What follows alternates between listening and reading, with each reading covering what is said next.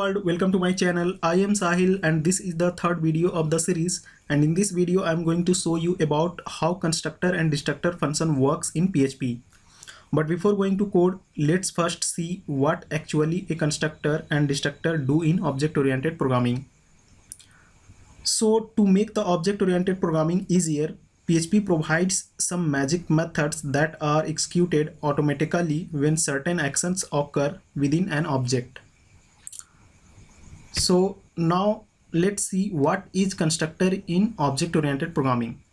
A constructor is a special class method which is called automatically when you instantiate an object. A constructor is used to initialize object properties when the object is being created. You can define a constructor by defining the construct method in php similarly what is destructor in object oriented programming a destructor is executed automatically when the object is destroyed. A destructor function cleans up any resources allocated to an object once the object is destroyed. You can define a destructor by defining the destruct method in PHP. Now let's start coding to understand in better way. So open your code editor and now first I'm going to create a new class so for creating a new class you just have to use class keyword. Okay? Sorry. Class keyword. And then the name of the class. So here i'm writing person as class name. And now first i'm going to show you how to define constructor method. Okay? So here just write constructor method now for creating constructor method you just have to write function and then space and then double underscore symbol and then write construct. Okay? And then parenthesis and then function block. In previous version you have to define constructor like this. You just have to write function and then the name of the class. Okay by this way you have to define constructor in old version of the php but in new version you just have to use this way okay? Now here you can simply display the any message like the class person initiated.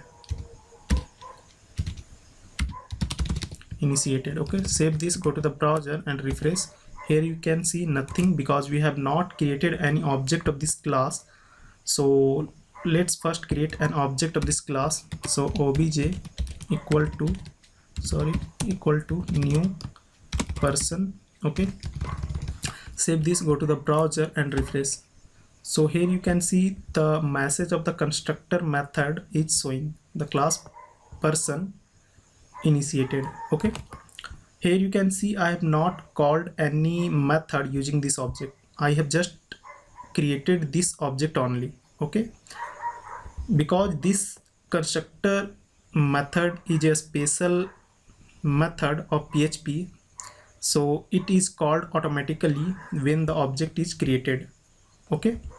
Similarly we can also define the destructor destructor method okay so for creating destructor method use same function keyword and then double underscore symbol and then write destruct.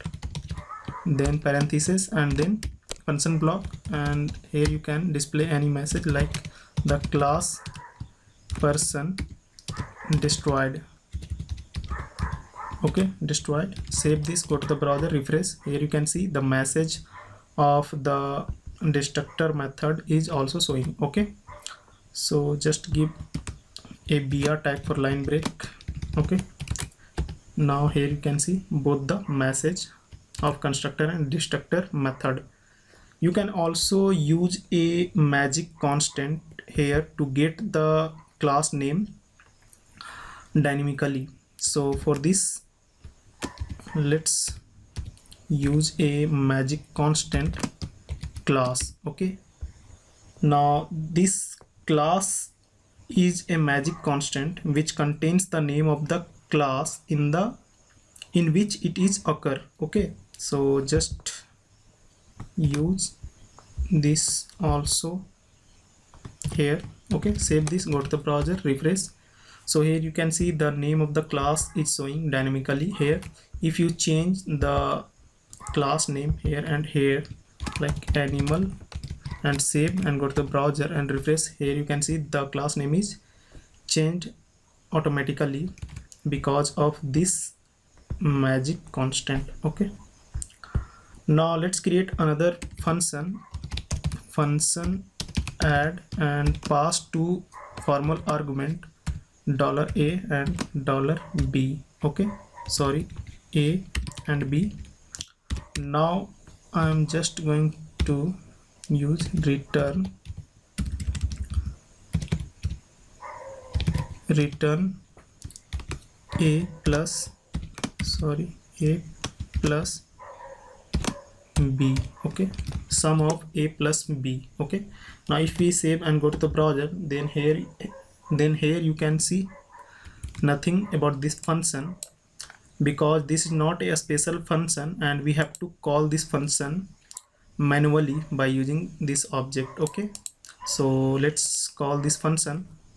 So here just write echo and uh, then sum equal to then concatenate and then use the object variable and then call the add function. Now here we have to pass two arguments. So 10 20 just save and go to the browser. So here you can see sum equal to 30 okay just concatenate and give a br tag for line break. Now here you can see sum equal to 30 if we just uh, duplicate it and change the value here like 50 so 50 plus 20 equal to 70 so here you can see sum equal to 70 so you can you can call it multiple times okay? But uh, you can see we we did not called these methods this construct method and destruct method by using this object okay? Now this destructor method actually cleans up all the resources allocated during execution when the script is finished okay? You can also use unset function explicitly to destroy an object okay? So like this unset and then pass the object variable here okay? By this way you can also destroy the object explicitly okay? So just delete this. Now now this constructor method is very important method in any object oriented programming okay? Because this constructor method is used generally used to initialize the value of the member variables. So let's take an example to understand in better way. So i'm just going to create two member variable. First so here member variables okay now here I will use private access specifier private and then elf sorry first name and uh, private l name okay? So mm, this is two member variable.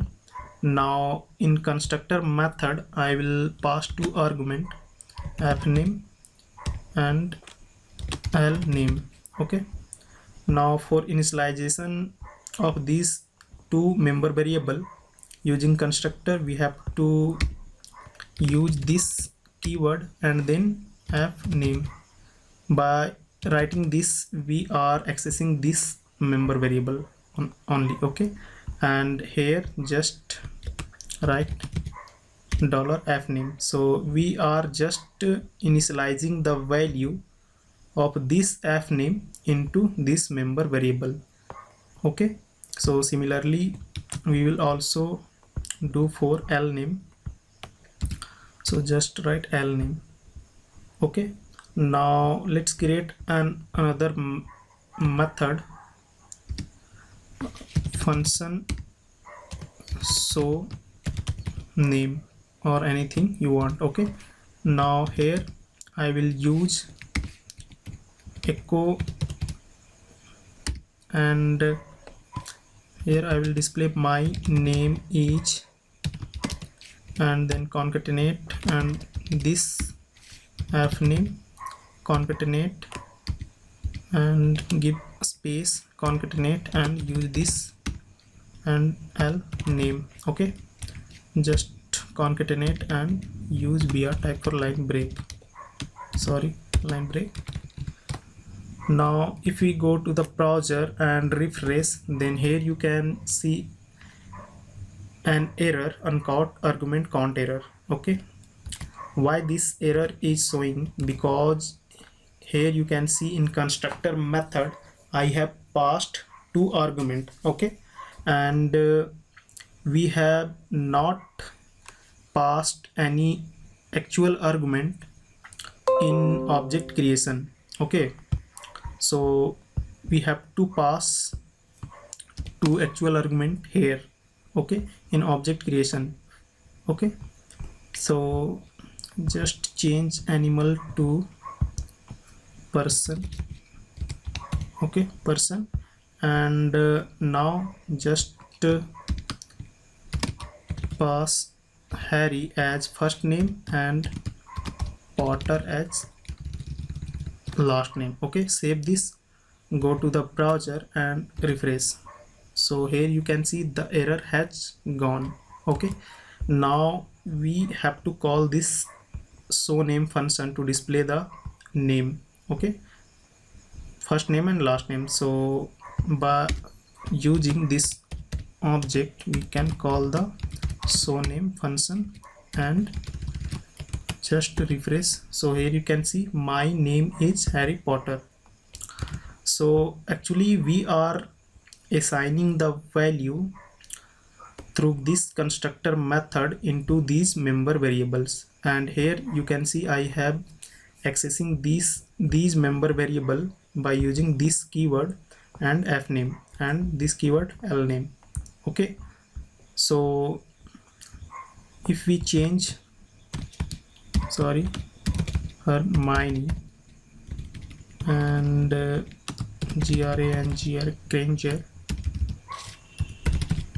And refresh then here you can see it is displaying here okay? Now we can also provide a default value to these variables and if we provide a default value to both of the variable here then we can also escape here and remove these variable uh, sorry value from here. Uh, if we uh, just assigned a default value like null and equal to null okay?